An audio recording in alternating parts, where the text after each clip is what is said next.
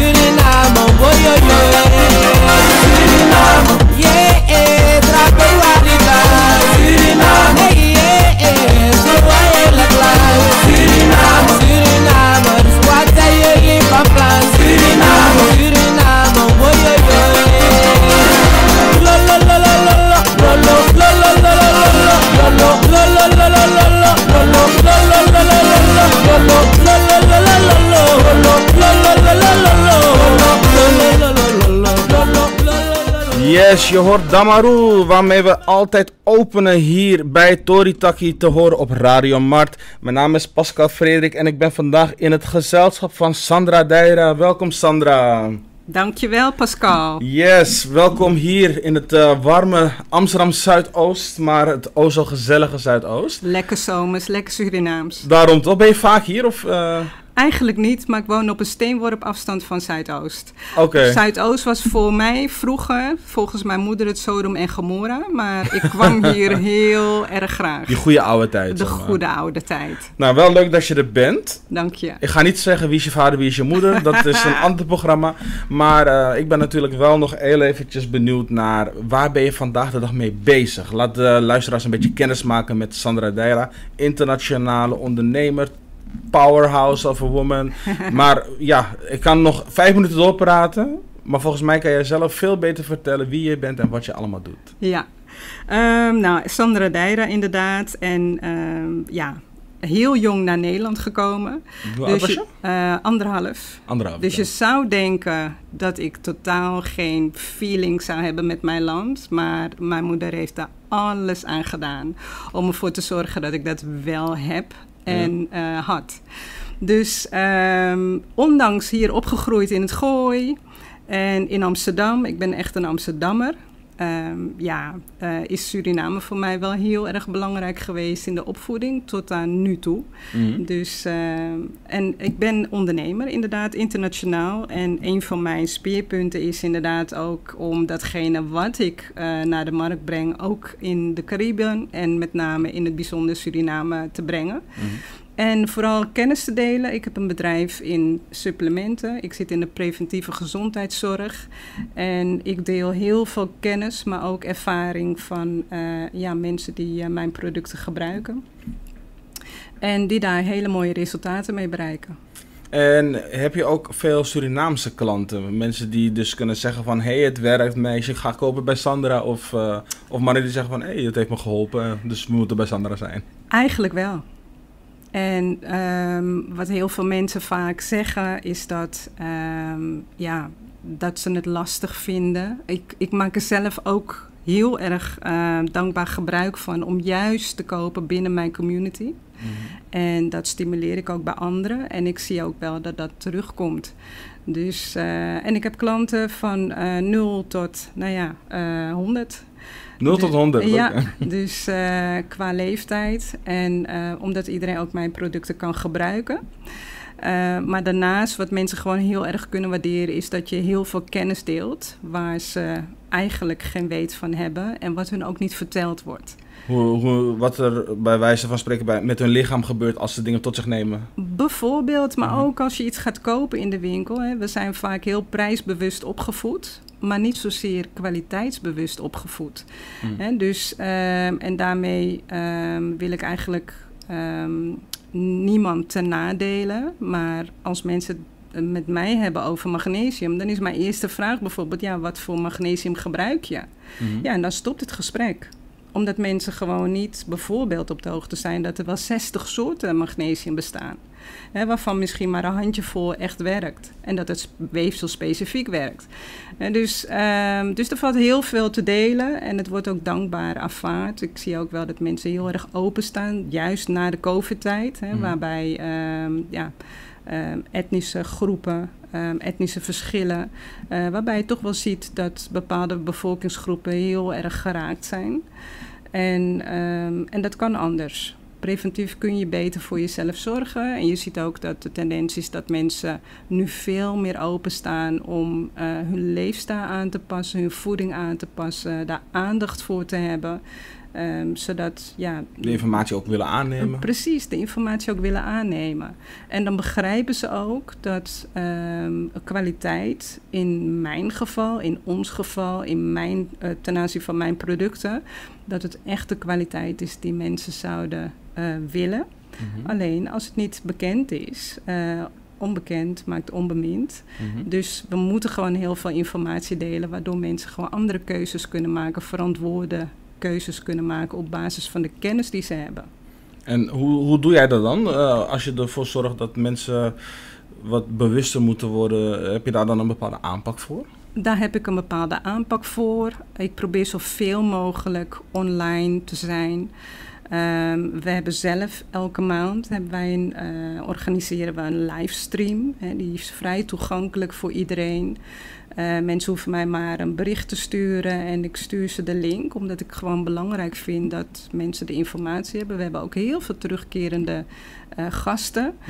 Eh, die ook weer in hun eigen netwerk aangeven van nou, daar wordt goede informatie gedeeld. Zorg dat je er de volgende keer ook bij bent. Dat kan thematisch Dus zijn. met gasten bedoel je de mensen die het event bijwonen, die dan Ja. bijvoorbeeld terugkomen? Ja, die terugkomen. We hebben echt hele trouwe eh, ja, toehoorders.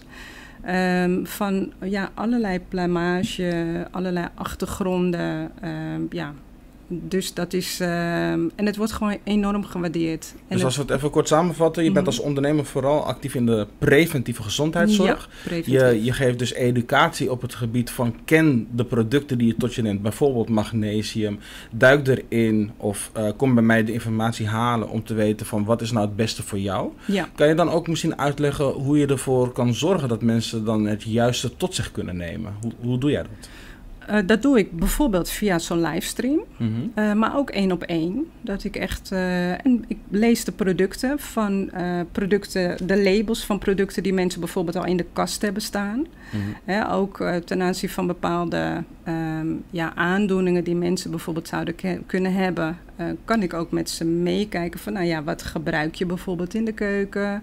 Eh, hoe ga je met bepaalde dingen om? Wat is je moment dat je wel of dat je niet eet?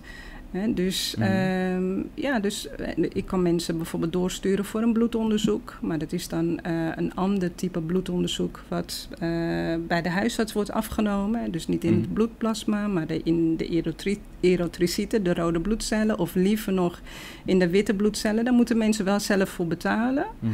Ehm, dat wordt niet door het ziekenfonds verzekerd, anders zouden we dat allemaal doen.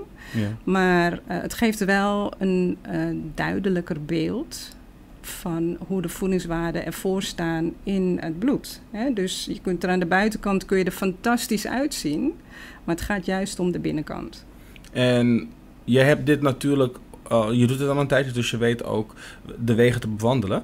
Kan je ons misschien ook nog een beetje uitleggen in waarom dat onderzoek dan toch anders moet zijn dan wanneer ze het bij de huisarts gaan doen? Het geeft een ander inzicht. Kijk, in eerste instantie stuur ik mensen door naar de huisarts. Hè, want ik bedoel, dat valt onder de zorgverzekering. Ehm, zeker als er iets speelt. Maar je krijgt gewoon een duidelijker beeld. De meeste mensen die ik spreek, die hebben al een vitamine D3 tekort. Nou, dat kennen de meeste mensen wel, maar ze weten niet dat het verantwoordelijk is voor 2000 processen in je lichaam. Hè, dus het heeft met alles te maken. En doordat wij eh, ja, meer gepigmenteerde huid hebben, er is weinig zon. Ik denk dat we afgelopen juli dat we niet zo blij waren met eh, Nee. deze zomer. Ehm, dus het, het is gewoon lastig ehm, om vitamine D3 op te doen en dat het ook omgezet Op wordt. in natuurlijke je- wijze, Ja, op natuurlijke wijze. En Mhm. dat het ook omgezet wordt in je lichaam tot een niveau waarvan je lichaam dan ook echt van profiteert. Mhm. Dus, ehm, dus daaraan zie je al dat. maar dan komt de volgende vraag: van oké, nou ja, ik heb een vitamine D3 tekort. Ehm, nou ja, gaat u maar wat halen bij de kruidvat, is dan vaak het advies, of bij een andere discounter. Maar eh, is het dan vitamine D? Is het een D2? Is het een eh, D3 vanuit lanonine? Hè, dat is wolvet. Of is het een vegan eh, D3? Hè, dus er zijn, Er zijn heel veel opties. Er zijn heel veel opties. En is het ook zo dat je in de gezondheidszorg bewust op die manier een beetje ehm, in het ongewisse wordt gelaten? Om, omdat er dus kennelijk betere manieren zijn om te kijken wat het beste voor, je, voor jou is als mens? Ik denk dat het niet bewust is. Ik denk dat het ook zelfs in de gezondheidszorg ehm, niet ehm, bekend is. Tenminste, mensen worden, krijgen daar geen onderwijs in. Dat is de veronderstelling vaak. Hè, dat ehm, eh, artsen, medisch specialisten, maar ook mensen die aan het bed staan in het ziekenhuis, dat die alles weten van voeding. Mhm. Dat is niet zo. Die worden opgeleid in medicijnen. Hè, die worden protocolair Vanuit opgeleid. Ja, en je ziet dat als men, en dat zie je wel, dat is wel de tendens op het moment dat mensen zich steeds meer gaan verdiepen in voeding, omdat we nou toch met z'n allen erachter zijn gekomen dat voeding de basis is voor alles. Mm. Naast een eh, leefstijl, hè, dat je ook nog eh, op tijd beweegt, dat je op tijd eet, eh, wat je eet. Eh, maar ook voldoende slaap en dat soort dingen. Dus het is gewoon dat je holistisch gaat kijken naar wat kun je doen preventief voordat je in die curatieve zorg eh, terechtkomt. En daar help je mensen bij dus. En daar help ik mensen bij.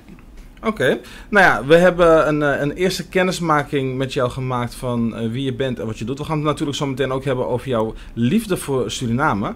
En als we het hebben over liefde voor Suriname, ben ik even benieuwd. Ben je nog bekend met die groep van vroeger, de Surinaamse Vrolijke Jeugd? Ken je die groep nog? Nee, die ben ik niet mee bekend. Oké, nou ik ga je dan nu een nummer laten horen. En ook eh, voor de mensen thuis. Sranang Grotu. s- Dus ik zeg het verkeerd. Sranang Grong.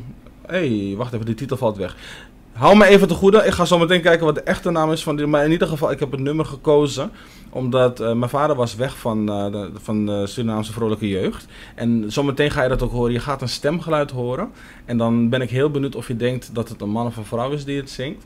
En vanuit daar wil ik je ook uitnodigen om te kijken naar het gevoel dat het nummer bij je oproept. Ga nog niet weg, want Sandra Deira is just getting started. Wij gaan in de tussentijd luisteren naar de Surinaamse vrolijke jeugd. Nana Grong. En dan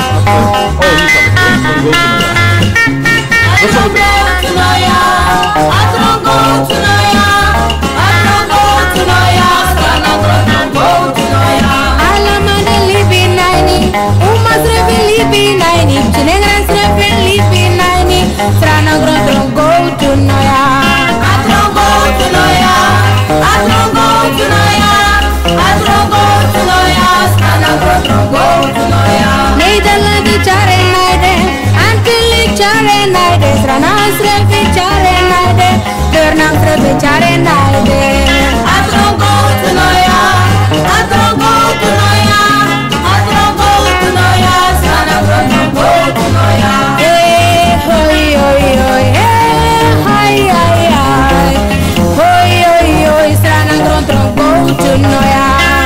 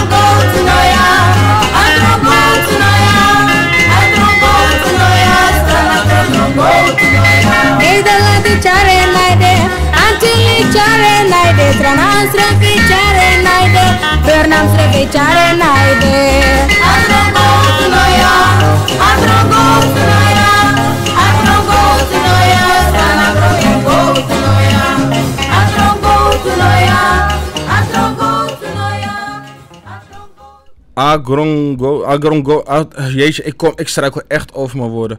Het is in ieder geval iets met Stranan Grong Tronggro Tuno, ja.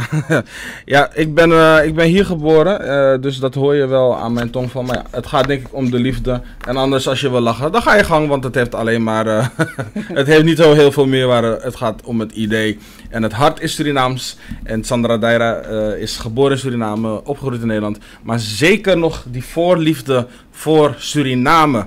Welkom terug. We gaan verder met Sandra Deira, die als ondernemer internationaal actief is. Ze is natuurlijk in Nederland actief, buiten Nederland actief. Heeft heel veel met Suriname. Wil dus in principe ook die kant op de Caribië ehm, versterken met wat zij biedt. En dat is de preventieve gezondheidszorg. En vanuit welk bedrijf doe je dat dan, Sandra? Mijn bedrijf heet Health Tribe. En nog even een correctie, de vrolijke jeugd ken ik wel. Alleen, ik wist natuurlijk niet dat het de dat zij het vrolijke jeugd... Ja, Kan jij het wel goed uitspreken? Want ik struikel over Nee, Stranan Trongo toernooi. Maar ja, nee. hey, het gaat wel wat beter. maar ja, eh, kijk, ik kan excuses gaan verzinnen, maar het heeft denk ik niet heel veel zin. We gaan gewoon lekker doorpraten. En eh, eh, Sandra, waar- wat is die liefde die je dan hebt voor Suriname? Want dat heb je specifiek gezegd hè, toen we het hadden over, hey, kom je langs om te praten? ja. Jouw liefde voor Suriname, vertel. Ja, het gekke is dat als je in Suriname geboren bent en je bent anderhalf, ja, eh, ik ben voor het eerst teruggegaan toen ik tien was. En ik kan me nog herinneren, je moest toen met de trap naar beneden vanuit het vliegtuig. En toen die deuren open gingen, ehm, de lucht van het oerwoud, ehm, die zoete eh, lucht op de een of andere manier, ja, dat voelt gelijk als thuiskomen. Die Amazonelucht, hè? Ja, die Amazonelucht. En dat kun je niet omschrijven. Maar dat heb je natuurlijk anderhalf jaar als baby, peuter, heb je dat eh, meegekregen. En dat blijft ergens in je systeem hangen. Dus het moment... meteen aangewakkerd. Ja, dus het, mo- ja, toch? het moment dat ik, eh, als ik in Suriname kom, dan is dat echt een van de eh, eerste dingen die ik opsnuif. Dat is de lucht. Mm. En dan voelt het als thuiskomen. Dus hier leven we, zeggen we altijd. Maar Suriname voelt voor ons echt als thuiskomen. Als thuiskomen. Hoe vaak ga je naar Suriname per jaar? Eigenlijk te weinig. Mhm. Ehm, ik vind A, eh, de prijs vind ik echt een punt. Ehm, en niet zozeer dat je het niet zou kunnen, dat je het niet zou kunnen veroorloven. Eh, maar ik vind het mega belachelijk dat we allemaal zoveel geld moeten neerleggen voor een ticket naar ons eigen moederland. Mm. Ehm, ik zou niet weten hoe we dat zouden, zouden moeten. ehm, hè, dat zijn eh, externe factoren waar je bijna niks aan kunt doen. Maar ik vind het heel zielig voor ons. Ehm, ik ben voor het laatst ben ik in 2019 geweest. En dat was een ander type vakantie dan dat ik voor ogen heb gehad. Want ik ben toen voor het eerst het binnenland in geweest. Ik mocht voorheen, vond mijn schoonmoeder vond het toch allemaal spannend. En er was een binnenlandse oorlog geweest. En we kwamen niet vanuit Suriname. Dus nou ja. En in 2019 hebben we gezegd, wat er ook gebeurt, wij gaan dit gewoon doen. Mhm. En toen heb ik pas gezien hoe prachtig eh, Suriname is. Hoe, ehm, als je daar naartoe gaat, het is een ander type vakantie, want je rust geestelijk ook heel erg uit. Of je nou naar het binnenland gaat of niet. ehm, maar ja, als je echt geestelijk wil uitrusten, maakt niet uit hoe druk het is en hoe druk je programma is. Maar ik, op de een of andere manier, ehm, dat bos, dat doet iets met je, die lucht.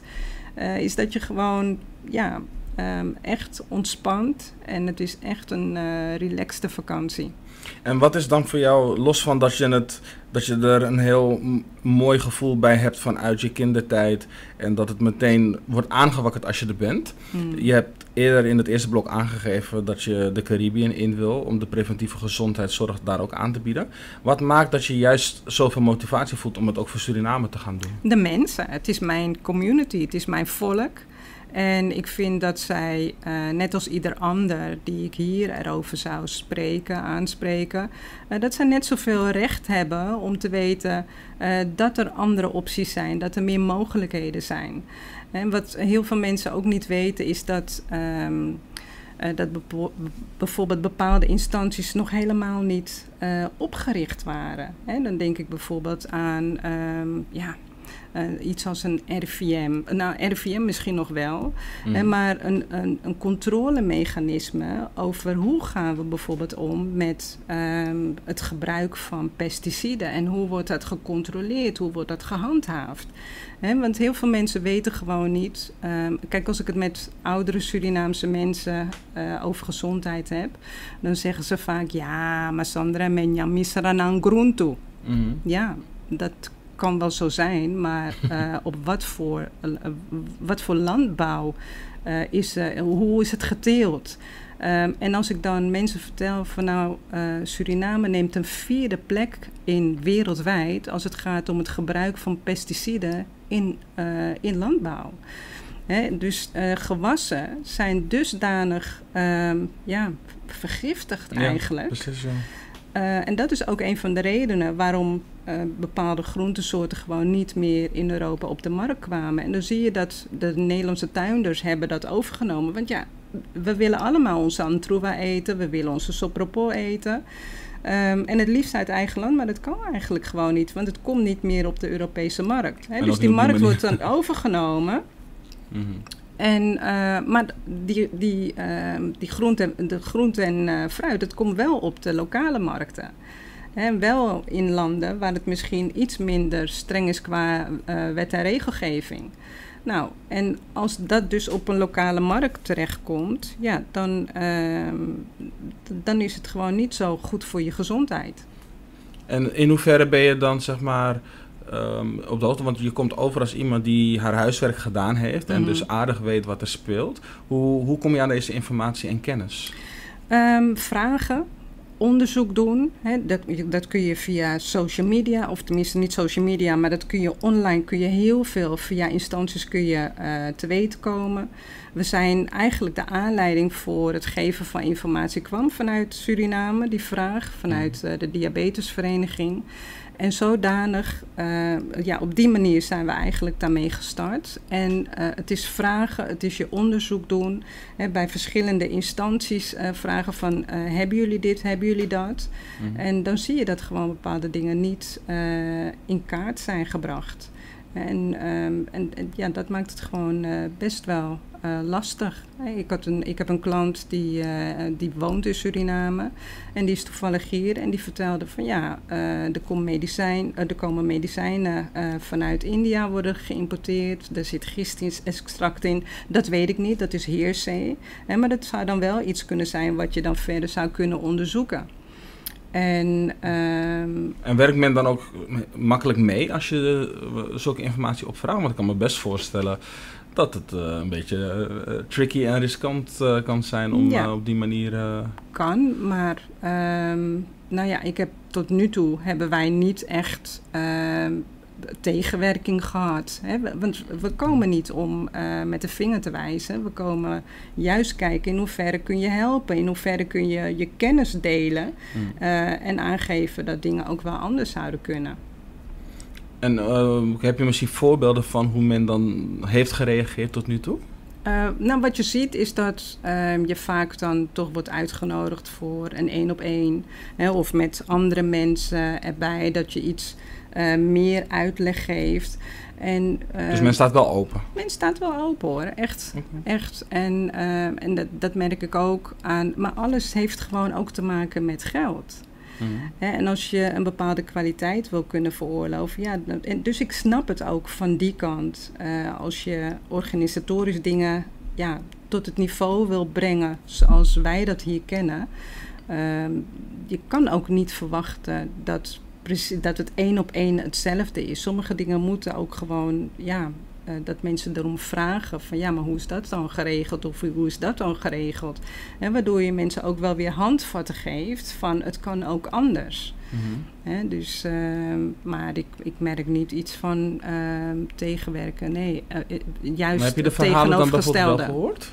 De verhalen van dat, dat de lokale bevolking van Suriname het soms lastig of vervelend kan vinden als de Euro-Surinamer, om het maar even zo te noemen, Hmm. Naar, naar Suriname komt met het idee om te helpen, maar dat het toch anders aankomt, zeg Ja, maar. Heb nee. je die wel eens Persoonlijk, persoonlijk heb ik dat niet gehoord. En ehm, wat, ik, wat ik merk is gewoon echt dankbaarheid. Ook van de ondernemers. Mm. eh, die bijvoorbeeld iets eh, ondernemen binnen de gezondheidszorg. En dat ze ook zoiets hebben van ja, maar deze informatie die eh, hebben we gewoon niet. Dat, dat wist ik niet. Nou ja, als het er maar één is met wie je de kennis kan delen en een ander inzicht kunt eh, geven, eh, dan is het er één.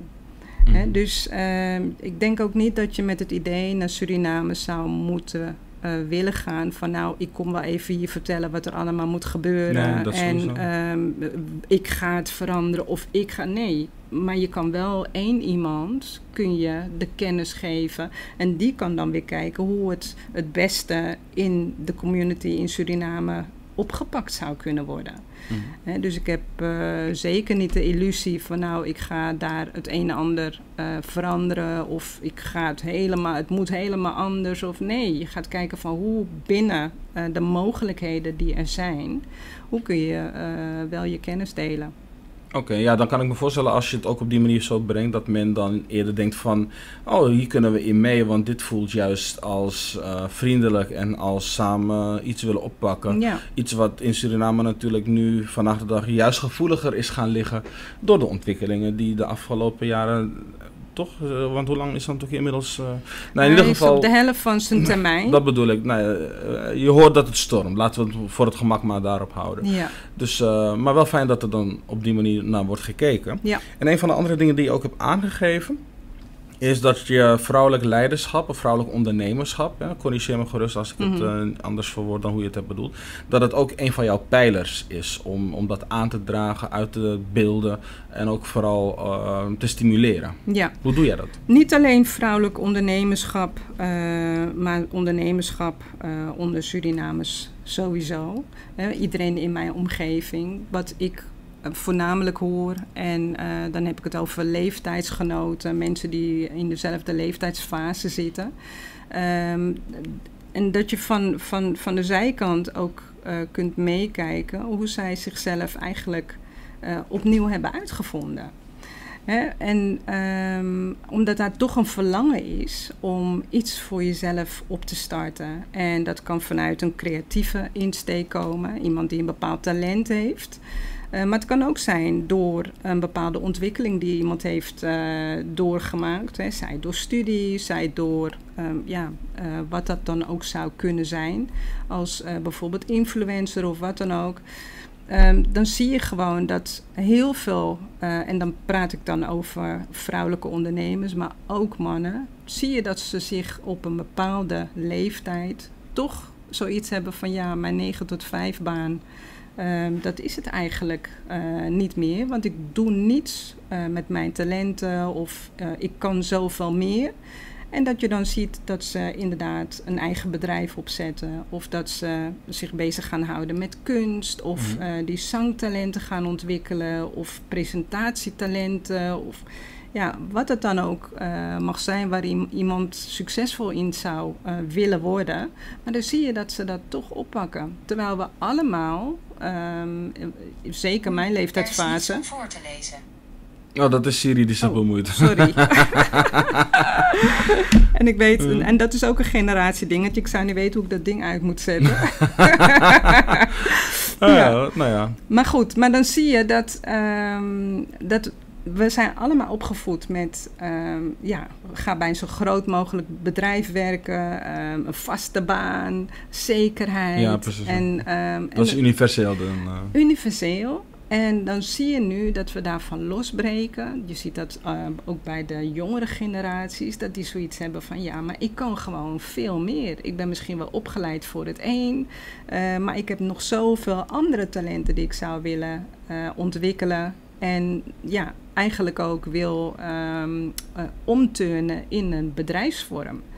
Dus, en ik zeg ook tegen mensen van nou, je hoeft eigenlijk niet zo lang te wachten als je dat gevoel hebt, dat je dat eh, kunt, dat je dat wilt. eh, dan is het gewoon een kwestie van gaan onderzoeken hoe kan ik dat voor elkaar krijgen en het gewoon gaan doen. En heb je daar toevallig ook al een best practice van? Heb je een, een voorbeeld die je daarin kan geven of noemen? Nou ja, als ik naar mezelf kijk, ik heb een internationale achtergrond en ik heb voor eh, grote bedrijven gewerkt, met grote bedrijven samengewerkt, internationaal. En eh, een redelijk groot eh, gebied, hè, Afrika, Europa en het Midden-Oosten. En als je dan ziet dat je op een gegeven moment dat toch ehm, eh, die wereld vaarwel hebt gezet, gezegd. En dat Mm. je dan overstapt naar iets waar je hart meer ligt. En ik wilde ook weer terug naar een, eh, ja, een, een, manier waarop ik eh, direct contact had met, eh, met mensen. Ik miste de menselijke factor in mijn werk. Hè, dus, Dus je eh, bent duidelijk je hart gaan volgen met ja, deze. ik kwam uit een technische wereld. Voorheen kwam ik ook al uit een eh, mensenbusiness, uit de uitzendwereld. En ehm, in een technische eh, wereld terechtgekomen. En dan zie je dat dat toch blijft trekken. En dat zal dan misschien ook wel ergens in je persoonlijkheid liggen. Dat je graag iets doet voor, eh, graag iets doet voor en met anderen. En dat zou je dus ook zeg maar als ingrediënt kunnen noemen voor je succes. Ja, ja, dat denk ik wel, ja. Nou, dat, we gaan daar zo meteen eh, meer over eh, horen vanuit jou. We gaan weer even naar Surinaams muziek. Even eh, de... Hoe zeg je dat? Je zei net iets wat ik heel mooi vond passen bij dit nummer. Het is een boodschap die je over wilt komen dragen. En wie bracht vroeger boodschappen? De postbode. Dus we gaan luisteren naar het nummer Postbode, gezongen door Sabaku. En daarna gaan we verder en horen we vanuit Sandra welke stappen en ideeën zij nog meer heeft voor de toekomst. En ja, waarom je er in de gaten moet houden. Want ze zal ongetwijfeld de weg naar Suriname weer opnieuw weten te vinden. De Amazone roept je, Sandra. Maar we gaan eerst even luisteren naar die postbode. Tot zometeen.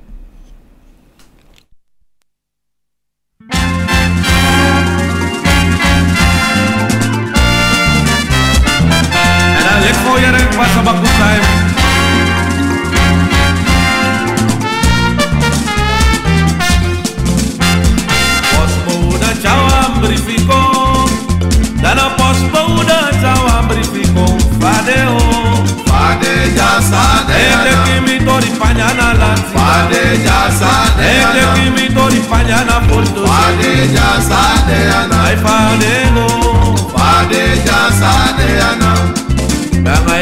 feati.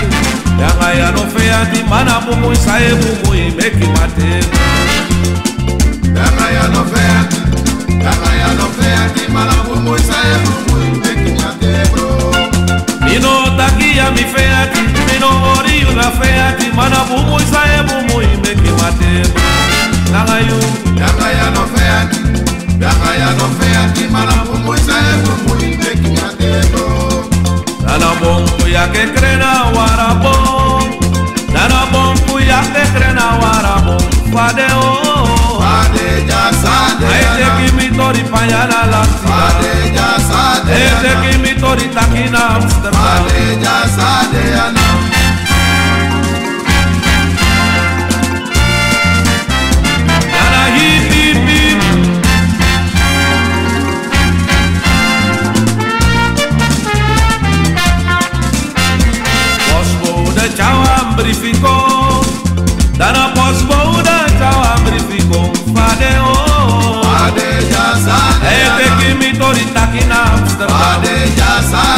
Fade ki mi tori fanya na rotter Fade ja sade ana ah, Ai lo mi fade o oh, oh. Fade ja sade ana Bianga ya no fea ki Bianga ya no fea ki Mana bumu isaye é bumu imeki matebu Bianga ya no fea ki Bianga ya no fea ki Mana bumu isaye é bumu imeki matebu Mino ngori una fea ki Mino takia mi fea ki Mana bumu isaye é bumu dati mek matebu Dagayu, Dagaya no feat, Dagaya no feat, Malamu Musae Mumu, Medina Debro.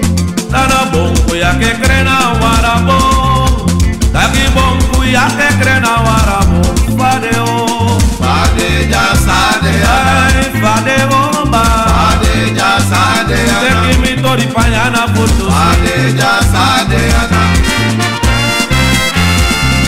E não muta pintorina preci, Ino mutak mitori na presi. Ino mutak mitori na presi.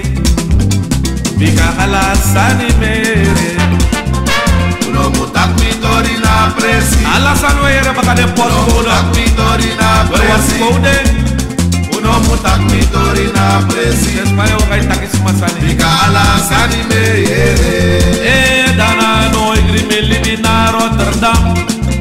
E no monta che mi sani na Amsterdam E no mo hoi grimil mi na Den Haag Da che pica alla sani were Udo mutak mi dori na presi Udo mutak mi dori na presi Udo mutak mi dori na presi Pica alla sani were Inwa go probe chabe wase fesi na sumakoeno Sumakoeno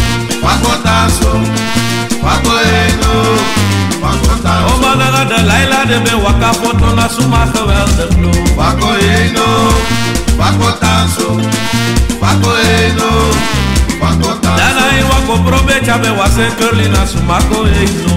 Fako eno, fako tanso, fako eno, fako tanso. Fako eno, le chare go dobi mekte yere. Fako eno, fako tanso. bete, meu irmão bete Bate meu homem bete, meu irmão vou furar na tapa Quatro botaço, quatro reino, quatro botaço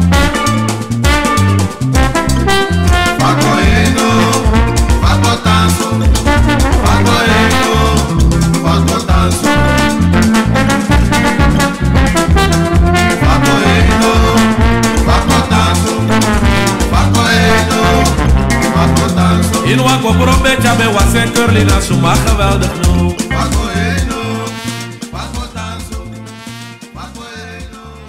Jawel, de postbode is gearriveerd. Sandra Deira is hier in de studio.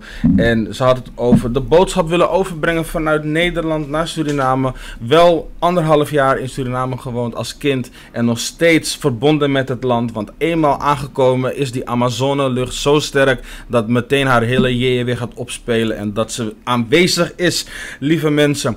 We gaan weer terug naar Sandra Deira. Sandra Deira, internationaal ondernemer. Een vrouw met heel veel mogelijkheden en heel veel inspiratie ook. En een van de dingen die, die ik net heb eh, begrepen van je, Sandra, is dat je actief bent in de preventieve gezondheidszorg. Dat je mensen als het ware wilt informeren om vanuit daar de beste keuzes te maken voor je eigen gezondheid. Dat roept bij mij ook een vraag op. Hè? Eh, wat zijn dan bijvoorbeeld de verschillen die je zelf hebt gemerkt tot nu toe in die gezondheidszorg? Nou, ehm, er zijn heel veel verschillen. En dat heeft eh, onder andere te maken met de omgevingsfactoren hè, van ons allemaal. Daar hebben we mee te maken. Maar ook ehm, eh, de etnische verschillen in gezondheid, ehm, gezondheidszorg, maar ook zorggebruik. En eh, een heel mooi voorbeeld hiervan, wat dit inzichtelijk heeft gemaakt, is bijvoorbeeld het Helios-onderzoek. Hè, dat is, eh Helios staat voor Healthy Life in an Urban Setting. Dat is een onderzoek, een eh, cohortstudie, een grote studie van, vanuit het AMC in samenwerking met de Amsterdamse GGNGD. En ehm, wat je daarin in ziet, is dat eh, dit, dit onderzoek is vanaf 2011 is dat, ehm, eh, ja, is dat eh, in het leven geroepen, is dat opgestart. En Helis heeft ondertussen eh, meer dan 25.000 mensen. Heeft het, ehm, meer dan 25.000 mensen hebben hier eh, aan deelgenomen. En eh, in de leeftijd tussen de 18 en de 70 jaar. En op een gegeven moment word je daarvoor uitgenodigd. En dat is ook iets wat ik mensen zou willen aanraden op het, op het moment dat je geselecteerd wordt eh, door de gemeente Amsterdam om deel te nemen aan dit soort onderzoeken. Doe vooral mee. Eh, waarom? Het geeft je veel meer inzicht en veel meer focus op hoe je ehm, ja, met je gezondheid bezig zou moeten willen zijn.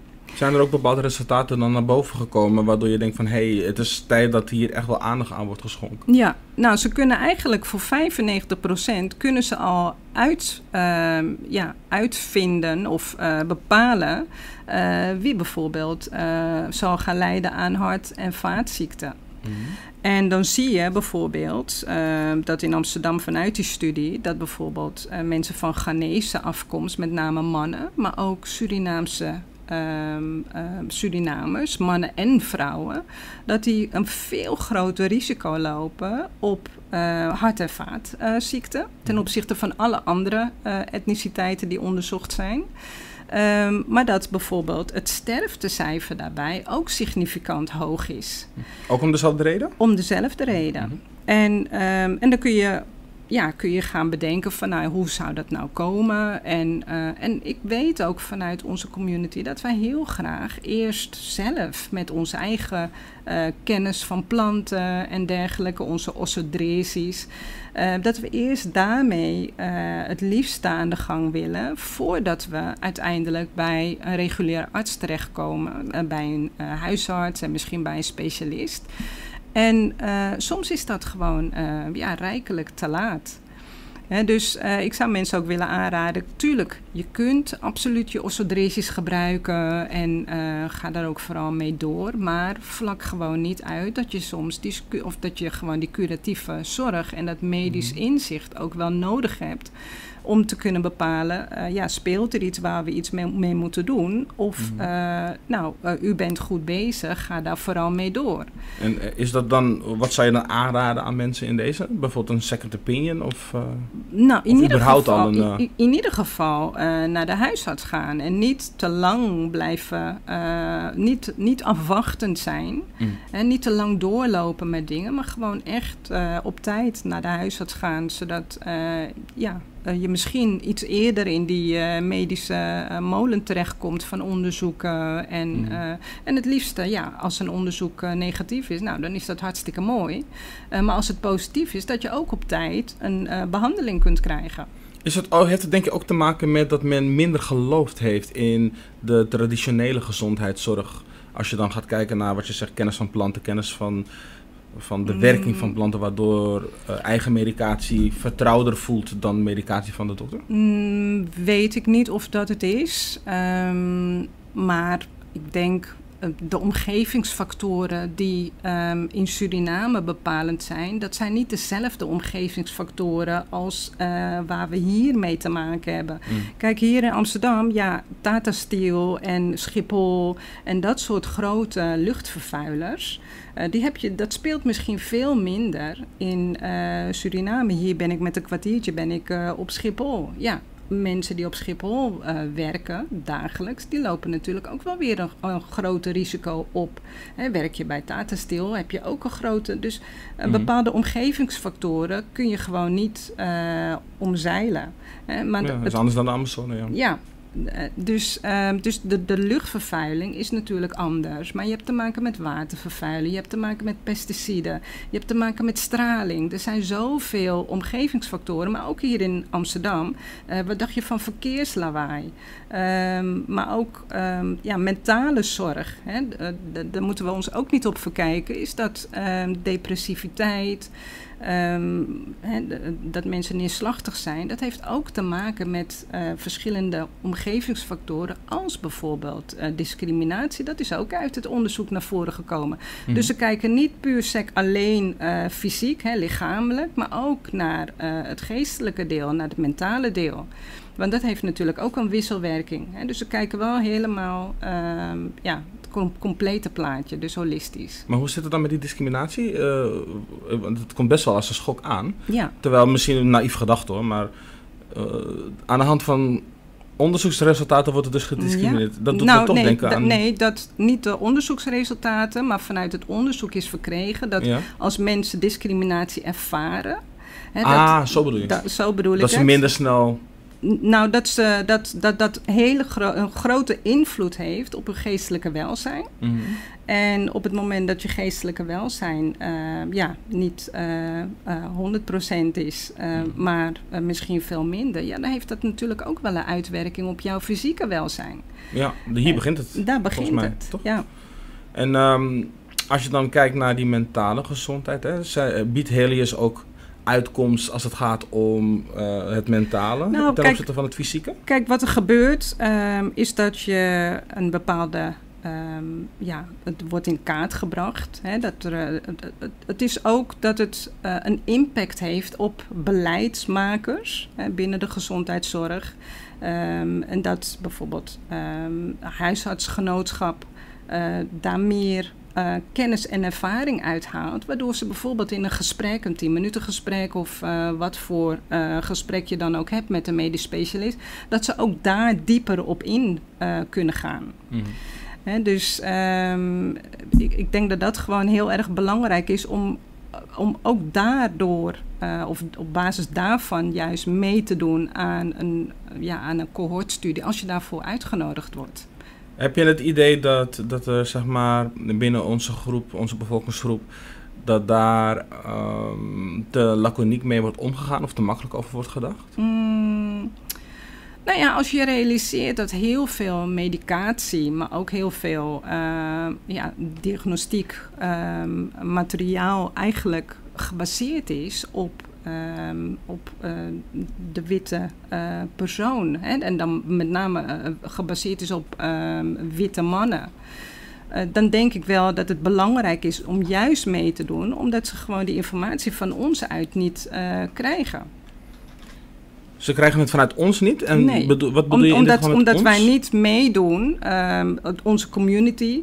Als community zijn er dus. Ja, als community zijn, zijn we, omdat we niet aanwezig zijn in onderzoeken. Dus eh, zijn we niet representatief genoeg? precies. Ah, oké, helder. Ja, en kunnen ze op basis daarvan kunnen ze natuurlijk niet ehm, ja, bepaalde, eh, bepaalde informatie verkrijgen. Om je een voorbeeld te geven, ik heb eh, vorige week meegedaan bijvoorbeeld aan een reanimatiecursus. Mhm. En toen werd aangegeven door de inleider, ik was de enige ehm, ja, niet eh, witte persoon. Mhm.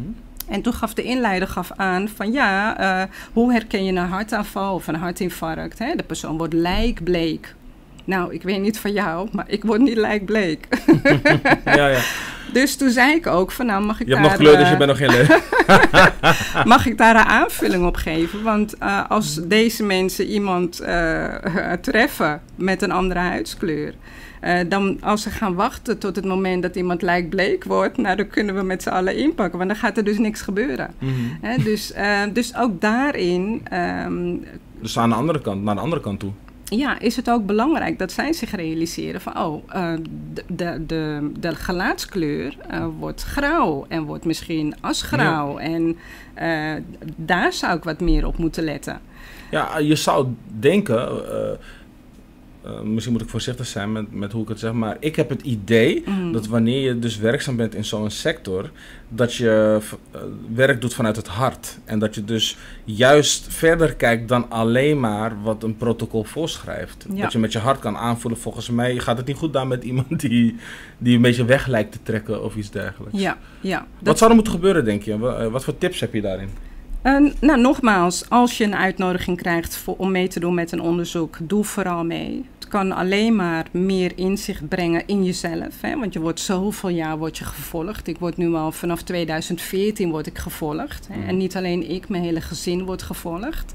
Ehm, dus het, doet, het, het geeft je gewoon meer informatie over jezelf. En als er dan een uitleg komt vanuit, eh, de, vanuit ja, de onderzoeksleiders, eh, zorg ervoor dat je ook bij die uitslagen bent, zodat je op de hoogte bent van wat speelt er binnen mijn community.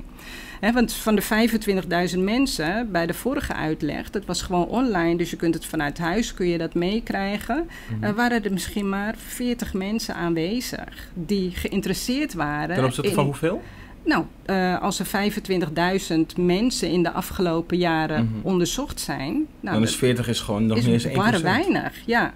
En als van die 40 mensen de meeste mensen alleen maar luisteren en ook geen vragen stellen, eh, ja, dan wordt zo'n. ehm, eh, op een gegeven moment was er een vraag. Eh, er was een constatering, hè, eh, zoveel procent van eh, mensen van Zuid-Asian, Surinaamse afkomst ontwikkelt diabetes. Mhm. Nou, dat is, dat is ehm, een, een feit en dat is omgezet in beleid. Hè. Dus nu, als je 35 bent, 45 en je bent bijvoorbeeld van Hindoestaanse afkomst, dan moet een huisarts iets meer onderzoek doen naar of jij diabetes ontwikkelt, ben je prediabetes of wat dan ook.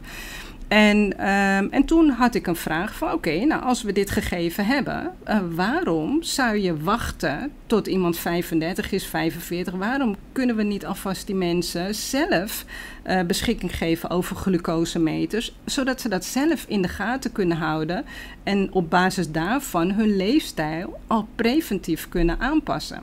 En waarom gaan we wachten tot iemand daadwerkelijk prediabetes of diabetes en dan komen we eens een keer in actie? En toen ja, waren beide onderzoeksleiders eigenlijk een soort van verrast. Van, oh, wacht even, er is iemand die meepraat. Mhm. En toen zeiden ze ook allebei, ja, waarom eigenlijk ook niet? Dus dat kun je dan ook weer Toen vanuit... viel het kwartje, zeg maar. Nou ja, je kunt in ieder geval eh, meepraten over beleid. En bij deze dus ook een eh, oproep vanuit jou na Hunt om dat toch eh, op te pakken. En je hebt me van tevoren ook gezegd dat er een andere tip is die je wilde geven. En dat had volgens mij te maken met een boek. Ja, dat is eh, een boekentip en dat heeft te maken met eh, ondernemerschap. Hè. Ehm, een vrouwelijk ondernemerschap, waarbij ik eh, vrouwen ook zou willen uitnodigen. Wacht niet totdat het niet leuk meer is op je werk, omdat je nou, het eigenlijk niet meer zo naar je zin hebt. Eh, omdat je iets anders wilt. Eh, zoek naar de kanalen, zoek naar personen, ga in gesprek en ga vooral eh, dat doen wat je hart je ingeeft. Want je hebt per slot van rekening hebben we allemaal maar één leven. En de boekentip die ik daarvoor wil meegeven is van ICBD. ehm, in Midlife We Rise. Eh, om mensen ook ja, positief te inspireren, stimuleren. Van ga het eens onderzoeken voor jezelf. Want het is gewoon ehm, ongelooflijk leuk om te En waardevol. ondernemen. En waardevol. En je kan van betekenis zijn voor je community. Je had ook nog aangegeven dat het handig is om ook eh, je, je website eh, te benoemen, zodat mensen die na vandaag eh, nieuwsgierig en benieuwd zijn geworden naar wat je allemaal voor ze kan betekenen en ook voor tips en dergelijke. Waar kunnen ze je vinden? Mensen kunnen mij contacten via mijn e-mailadres uh, Ehm, daarna- at wearehealthtribe.nl. Ja. En via Instagram, at wearehealthtribe. Ehm, en eventueel ook nou, vind je contactgegevens via de website ehm, https eh, dubbele punt backslash backslash eh, Eh, Hartstikke mooi. Dankjewel Sandra. We horen je graag nog een keertje langskomen. Want ik denk dat dit een thema is dat, wel, eh, dat elke keer wel weer opnieuw interessant kan zijn. Met nieuwe ontwikkelingen en dergelijke. Dus ik hoop dat we je nog een keertje mogen verwelkomen. En dat je ons kan schoolen op het gebied van eh, preventieve gezondheidszorg. Dus eh, voor vandaag alvast eh, bedankt. En hopelijk tot gauw voor de volgende keer. Dankjewel. En ook vandaag weer bedankt voor het luisteren, lieve mensen. We gaan eruit met eh, een nummer dat je met een knipoog moet gaan beluisteren. Het is van lieve Hugo. En eigenlijk is de vertaling van het nummer Sandra, waarom moet ik doodgaan? En wat wij eigenlijk willen meegeven met dit nummer nu is van, joh, neem je gezondheid serieus, dan hoef je niet dood te gaan. Zo is het. Dit was Tori Taki, tot de volgende keer. En ja, je weet ons te vinden volgende maand weer hier bij Radio Mart. Aboen!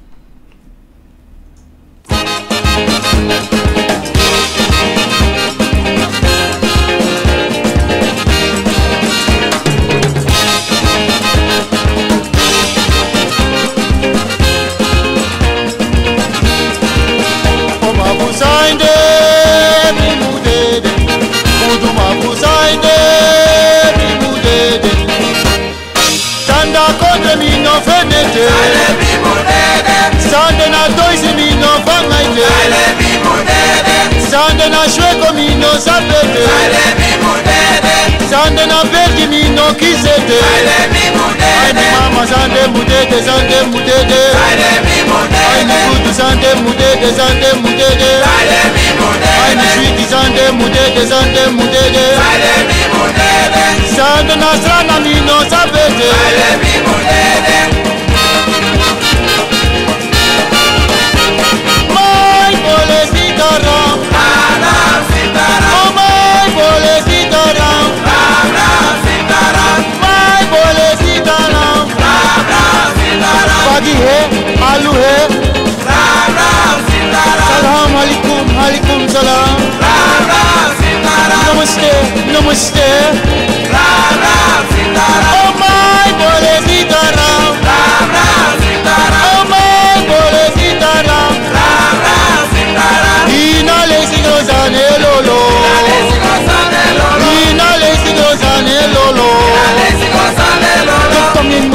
tongin mo on Je draait me zo van links naar rechts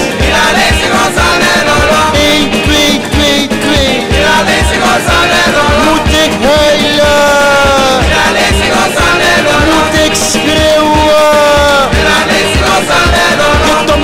in mijn neus, je tong in mijn oor Je draait me zo van links naar rechts Ay mi kutu ina lazy grozane lolo? Hey Hey